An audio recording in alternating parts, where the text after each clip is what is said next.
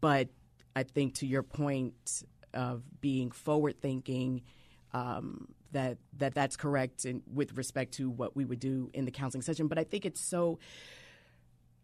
I think it's it's there's there's more. Um, there are so many pieces to, or there's so many ways that that story could be told to a believer. Um, so many lessons that uh, a, cler- a clergy member could try to impart.